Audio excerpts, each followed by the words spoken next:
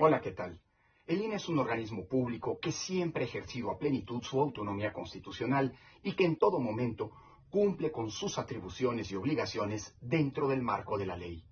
Para el INE, la defensa de la democracia es un imperativo y una causa que, afortunadamente, es acompañada por millones y millones de mexicanas y mexicanos.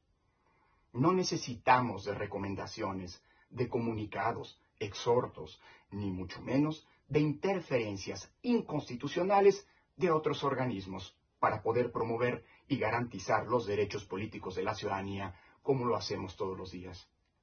Esa es la razón de ser del instituto desde su fundación como IFE en 1990 y nuestro principal empeño desde la última reforma político-electoral, la del año 2014, cuando surgió el INE. Ese seguirá siendo mi objetivo como consejero presidente hasta el último día del mandato constitucional que me otorgó el Congreso de la Unión hace más de ocho años y medio, el cual concluye el próximo 3 de abril de 2023. En ese lapso, el INE continuará defendiendo y ejerciendo su autonomía e independencia, pero al mismo tiempo dialogando y colaborando con las demás instituciones del Estado mexicano, incluidos el gobierno federal, el poder legislativo, el poder judicial y desde luego los demás organismos constitucionales autónomos.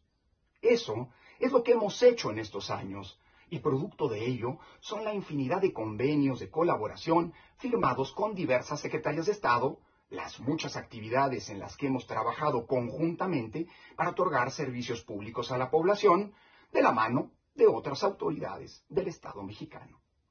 La colaboración del INE con diversas instituciones ha permitido generar políticas en favor de la ciudadanía en materia laboral, de salud, educación, en la búsqueda de personas desaparecidas, en el cuidado de los programas sociales para que no se usen con fines electorales, en la generación del principal mecanismo de identificación de la ciudadanía, en el monitoreo de la radio y la televisión, en la educación cívica, en la promoción de la paridad entre los géneros, además de diversas acciones afirmativas que se han tomado en favor de grupos vulnerables, entre muchos otros temas.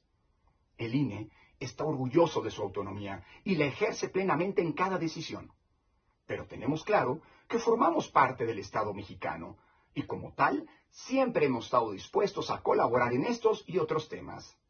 Nuestro sistema electoral es hoy un referente a nivel mundial sobre la buena organización de elecciones, la fortaleza institucional y la generación de condiciones de paz social y de gobernabilidad democrática. El INE, en ese sentido, es una obra colectiva y un patrimonio de todas y todos los mexicanos.